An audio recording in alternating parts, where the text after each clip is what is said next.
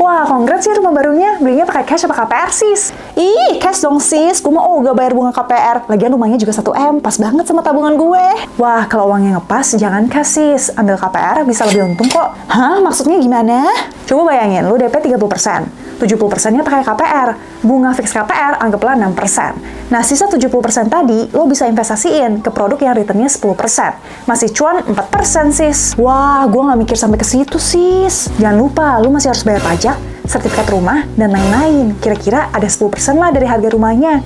Belum lagi kalau lo mau renov dan ngisi rumahnya. Waduh, gue udah nggak punya uang lagi.